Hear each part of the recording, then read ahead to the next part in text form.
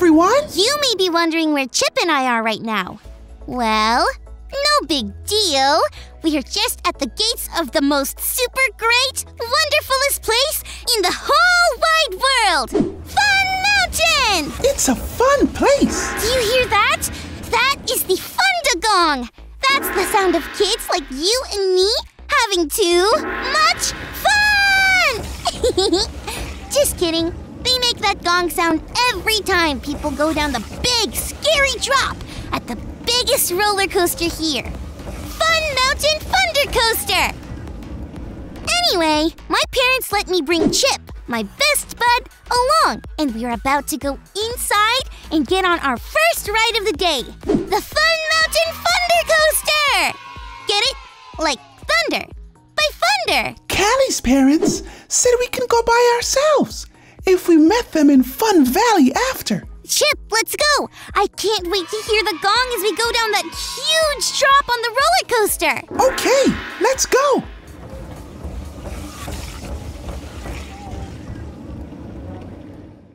I can't believe we aren't tall enough to ride the ride! Oh man! That's someone having the fun that we should be having! I stretched my whiskers as high as I could but it was no use. Why do they have those rules anyway? Yeah, this is Fun Mountain, not Rules Mountain. Come on, Chip. We have to find my parents in the Fun Valley. While we find them, let's check out today's Bible story.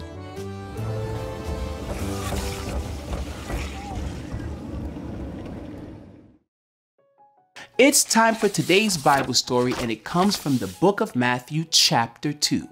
Jesus was and is the Son of God, and that's a really big deal. His reason for coming to earth was to save the world, and that's a really big deal too. But even though Jesus was such a big deal, he came just like you and me. He was a baby and had a mommy named Mary and a daddy named Joseph.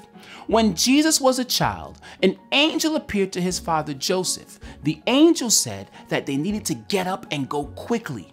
King Herod, who was a really bad king, sent wise men, like really smart guys, to find Jesus and to come back and tell him about the baby.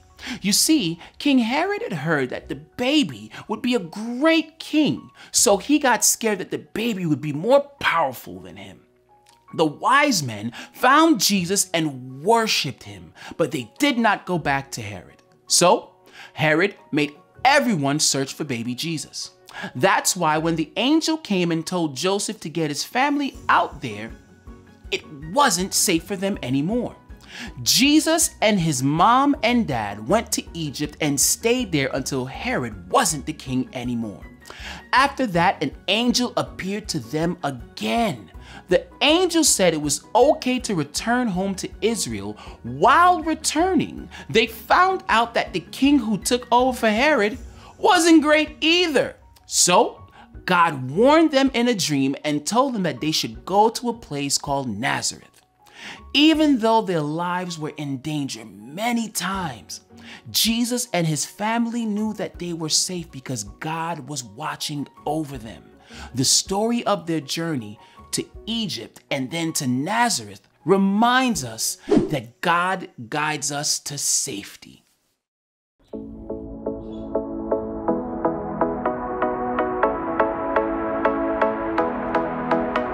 Hands up, hands down. Now turn yourself around. Hands up, hands down. Now turn yourself around. Hands up, hands down. Now turn yourself around. They say you're short, too tall. You try and give your all. And then sometimes you fall. Oh man, that can't make sense at all.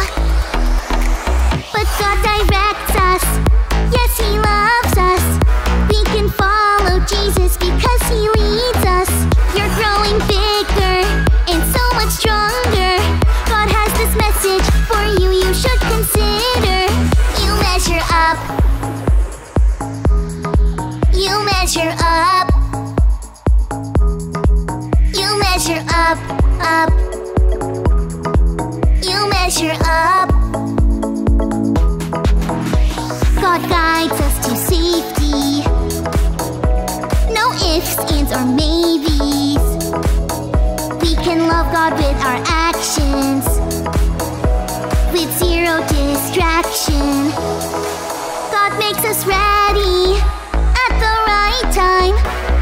Always, always at the right time. Of all the voices and all the noises, God's words help us make wise choices. You measure up. You measure up.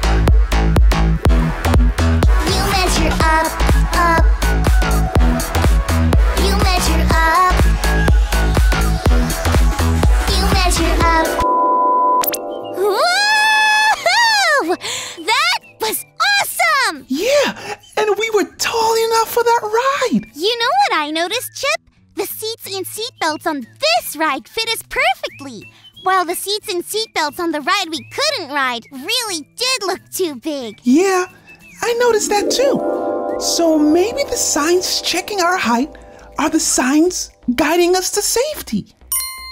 Just like the angels in the Bible story were signs God used to guide them to safety. Yeah, I'm sure glad those angels guided Jesus and his family to safety. And I guess I'm glad for the signs that keep us safe here, too. Me too. I mean, there's so many other rides that we can ride and be safe. Let's get going, Chip. More fun mountain awaits us. Next up, cotton candy. Speaking of signs, do you see a sign leading us to the cotton candy? No, I don't. Do you, friends? Whoa! Made it to the cotton candy. Look, there are my parents. Chip, they got us cotton candy. Thanks for pointing out those signs, friends. They reminded me of our Bible story for today and how God guided Mary, Joseph, and Jesus to safety. God guides us to safety. God still guides us to safety whether we're in Egypt or Fun Mountain or wherever. Thanks for learning and growing with me. Chip, don't eat my cotton candy! Gotta go!